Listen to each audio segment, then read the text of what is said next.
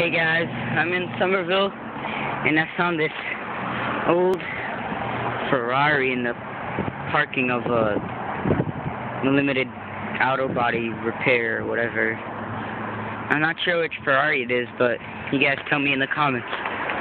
It has a silver, well not silver, it's the doors messed up. So I'm guessing it's here to fix. But yeah. There's the back of it. I'll show, I'll probably find out what it is and I'll tell you guys, but I'm not going in there because they might yell at me.